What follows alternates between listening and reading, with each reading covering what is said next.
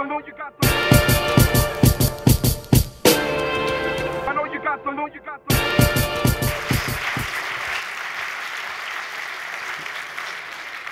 Thank you.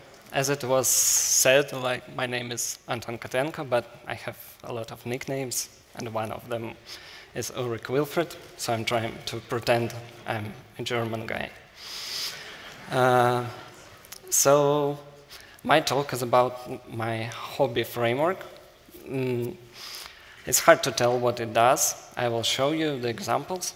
Uh, it's RPD framework, reactive patch development, and there is no error there. It's like flow programming for everyone, like developers, and for everyone, it's the thing like develop developers do, like clients. So um, actually, this framework is a JavaScript framework. It helps to build uh, interfaces like that. Uh, you probably know Quartz, uh, Quartz Composer, like the stuff from Apple to make your own screensavers and stuff. Uh, and also there is a, a German framework. Uh, it's called vvvv, or V4. Uh, it has the same interface, but uh, not a lot of such things exist for uh, web. Um, accidentally, like it was my home project, but it found its usage in our company. You know, we have these beams, like um, I probably show it in action. This is the link to the examples I will show. Oh, sorry. So this is it. Yeah. Um, you can generate a new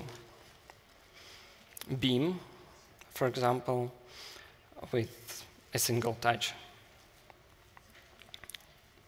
And also you can, for example, connect the palettes and change the colors of the beams. But it's uh, only the one application. There are, exist many, and there are um, it's possible, uh, this framework helps you to build uh, the pages and build the interface, like to connect things uh, in HTML or SVG, doesn't matter. Like different styles. This one has processing JS, P5JS uh, inside. Uh, so for example, I can, I can uh, change the color of these waves. So actually everything when you connect the nodes and uh, and make the data flow. Uh, the benefits, like it's very lightweight, very simple API. I will show how simple it is. Uh, it could render to SVG and HTML, like you choose which.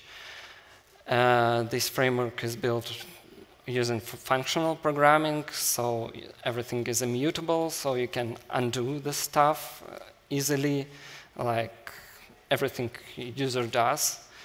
Uh, also, it supports any asynchronous operations uh, with the reactive streams, so you may write some node that loads the data from a server uh, and wait for it, and only then send it to the output. Uh, easy to create toolkits, easy to implement rendering and define styles, and easy to connect to any other libs like sound, animation, everything.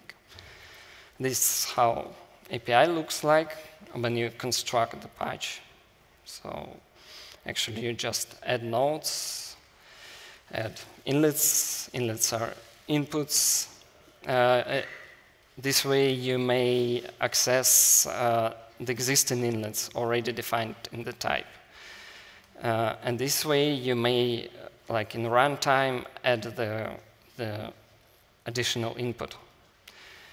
or for, for example, send some image to the input, or connect the output to some input, like very easy, or send some data uh, later in one second, for example.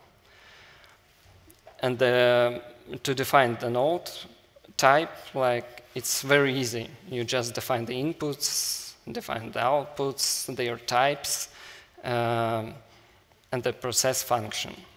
Like you may emulate the neural network we've seen before.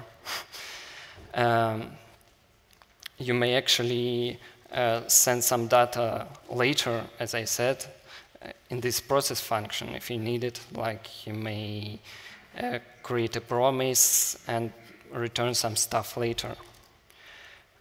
Uh, the renderer is, all, is also very simple to define. Uh, it has first function, like which is implement, uh, which is called the first time the node is placed on the canvas, uh, and always function, which is called for every refresh of the data. It's very uh, you can define uh, the node type with a function and return something. So you may prepare some data before before building a type. So it's like uh, the same goes for the uh, render definition, works like that. So actually that's it. It was even faster than eight minutes.